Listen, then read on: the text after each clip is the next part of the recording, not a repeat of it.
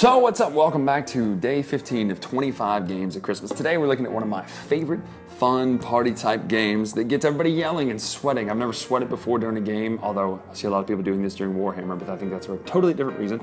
Sweating during the game, and that is Escape, the Curse of the Temple.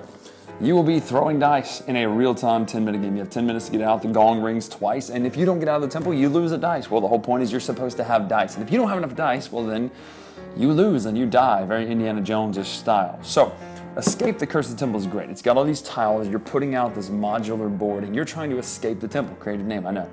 With enough jewels off of one board onto the temple. It doesn't really make sense thematically, but you're trying to take jewels out of this one place and put them on this other place. Anyway, the point is, when you do this, you have a certain amount of dice you have to roll, a certain amount of keys you have to roll to get out of the temple, and that number is the amount of jewels left on the board. So at this point, you're rolling dice. I had to cut it because my phone rang, but you're rolling dice to get out of the temple. The first person to get out gets to give someone else one of their dice. It's a fun game. It's a funny game. If you bring this to a game night, people will want to come over and just watch. It plays up to five. With the expansion, you can play six, which I don't have, but if you get people watching this, they're going to want to play. And the best part about it, it only takes 10 minutes. You can check out the review for it right up here.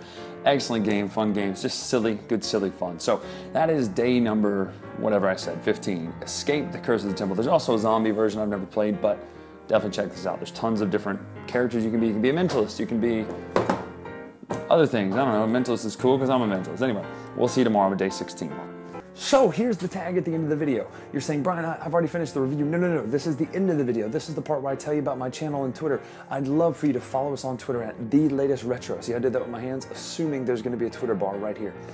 The latest retro on Twitter. We'd love to hear your thoughts on Twitter and Instagram, YouTube, all that kind of stuff.